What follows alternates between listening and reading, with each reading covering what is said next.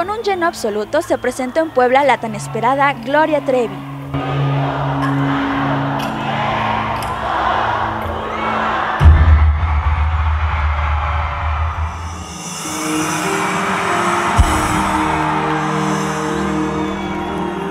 iniciando su concierto con la interpretación del cover Gloria, para así dar paso a sus éxitos actuales, amenizados con cerca de 12 cambios de vestuario, siempre luciendo como una reina en el escenario.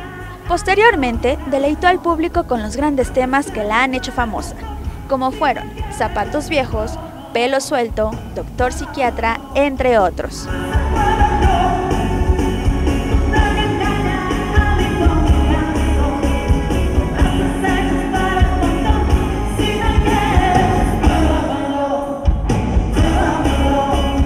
acercándonos al final, vino el momento nostálgico, donde interpretó el reencuentro de los años y comentó que siempre recordará a Puebla.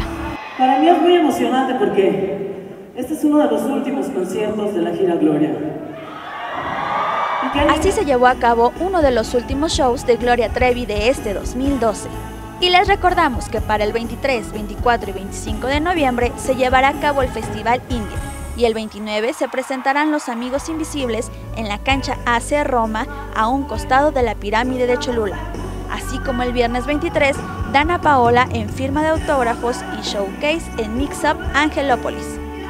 Para Mega Noticias, Jenny Hernández y Carlos Lira.